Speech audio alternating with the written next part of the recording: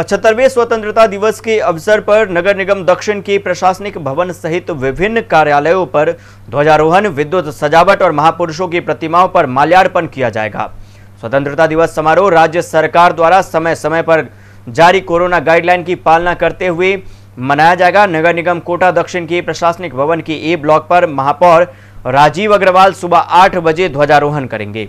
Garage अनुभाग में स्थित कार्यालय भवन पर सुबह सात बज के मिनट पर उप महापौर पवन मीणा द्वारा ध्वजारोहण किया जाएगा। इसके अलावा विभिन्न सेक्टर कार्यालय व अग्निशमन केंद्र श्रीनाथपुरम पर साढ़े सात बजे ध्वजारोहण संबंधित अधिकारियों द्वारा किया जाएगा।